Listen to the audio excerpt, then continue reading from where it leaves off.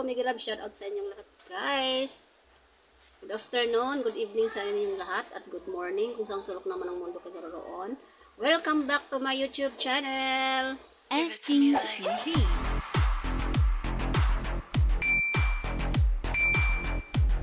So guys, for today's video, ay ipapakita ko po sa inyo ang aking finished product, ang aking ah, Mexico costume guys.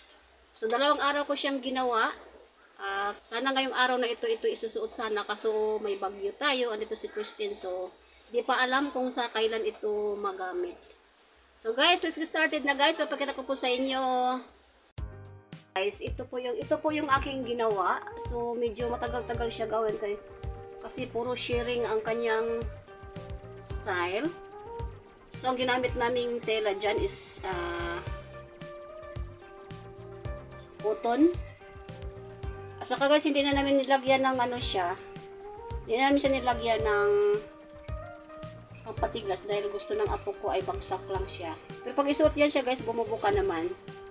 Ayan, so bali, bali ano siya guys, ah, apat na layer siya. Ito yung 1, ito yung 2, ito yung, ito yung 3, ang pinakababa ay 4, ganyan guys. So yung sa taas naman niya ay meron din siyang, para pag isuot, isuot siya ay parang siyang off shoulder.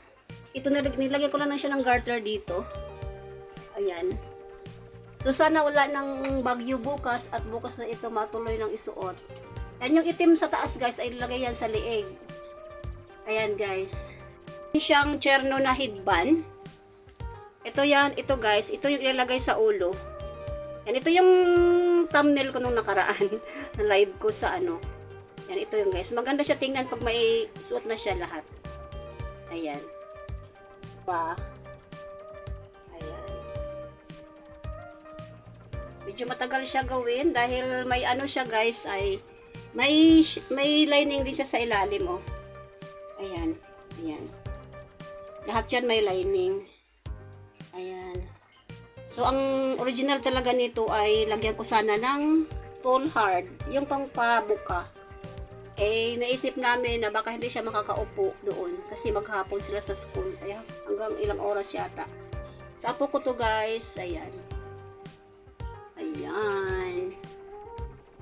So guys, so ito yung headband na ilalagay sa ulo niya, yung cherno niya.